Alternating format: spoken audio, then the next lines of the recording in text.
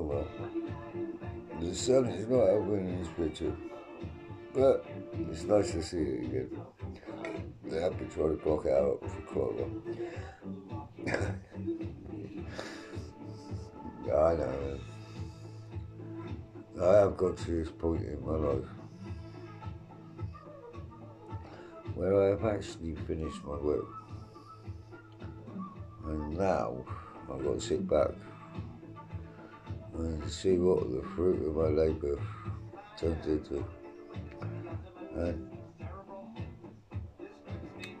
put it this way, it's been a while since I've had a fucking big fuck off smile on my face, which I actually do really.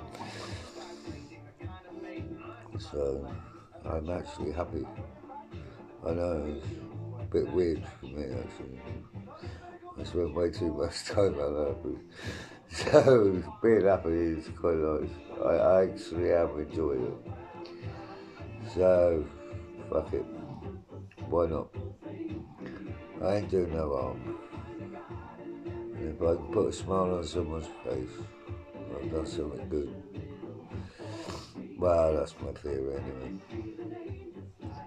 And believe it or not, I am actually a gentleman. Very polite and tend to go along with the rules, if there are rules. But uh,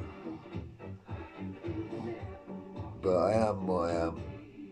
And I ain't gonna fucking change because I'm quite happy with myself, to be honest. I know it's took me a long time to actually be happy with myself. I know the sun really ain't helping this picture, which actually is helping me because I look like shit, really. Right, I'm not going to fucking dwell on the past. Right, I'm going to love and leave you all. And hopefully you have a lot nicer weekend than the one I'm really going to enjoy. yeah, I am going to go on a piss. All right, I'll catch you later.